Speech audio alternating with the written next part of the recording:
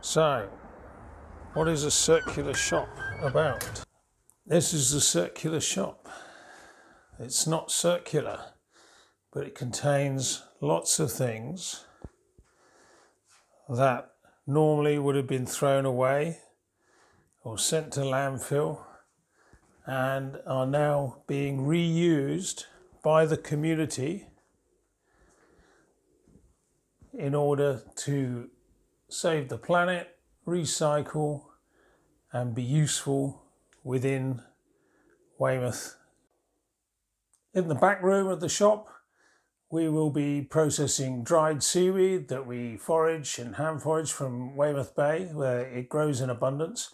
Use the podcasts to inform, educate, and promote the workings of the shop. We really want to keep the shop going because it's in one of the poorest parts of Weymouth, which is high up in the government's indices of deprivation. We think we've, we've Googled a bit. This is probably the first circular shop in the whole of the UK.